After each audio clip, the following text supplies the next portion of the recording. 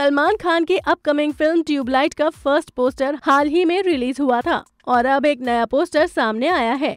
पहले पोस्टर में तो सलमान को पीछे से दिखाया गया था, लेकिन इस नए पोस्टर में सलमान का चेहरा दिख रहा है। इसमें सलमान ब्लू और व्हाइट चेक शर्ट पर ब्राउन स्वेटर पहने हुए और कंधे पर दोनों शूज़ टांग कर सल्यूट मार रहे हैं।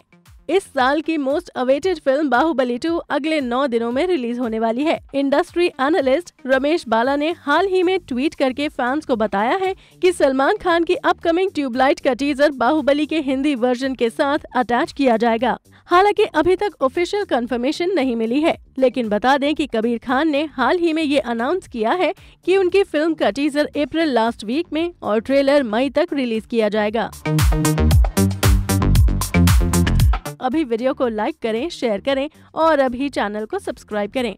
इसी तरह की चटपटी न्यूज़ देखने के लिए फिर मिलेंगे मसालेदार खबरों के साथ। Bye bye